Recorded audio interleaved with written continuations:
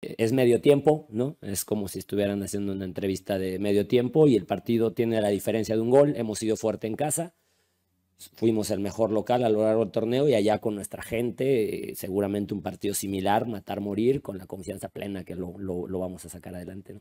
ni, ni, desesperado ni tranquilo serían adjetivos. Me, gusta más pensar que, porque desesperado no, ¿no? Eh, uno le corresponde guardar la calma sin caer en esa tranquilidad no, no, no, no soy un entrenador tranquilo, ¿no? Soy, soy, ahí me estoy moviendo, estoy peleando, estoy hablando. No, no, eh, estar listo para ayudar al, al, equipo, lo que le quiero transmitir es, es pues, lo mismo que ha hecho, ¿no? Esta convicción, este, esta claridad de, conceptos, este buscar para adelante, el que el ADN guerrero esté siempre en la cancha, el, el que nunca se den por vencidos, eso es lo que ¿no? Eh, busco transmitir y, creo que lo han reflejado muy bien. Este equipo jamás se da por vencido, jamás.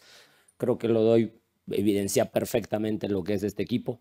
¿no? Fuimos la, una de las mejor ofensiva, buscando el gol, una vocación ofensiva, con nuestros argumentos, con nuestros jugadores, de los cuales estoy orgullosísimo y, y, y si me tengo que morir un día, me tengo que morir con jugadores así siempre.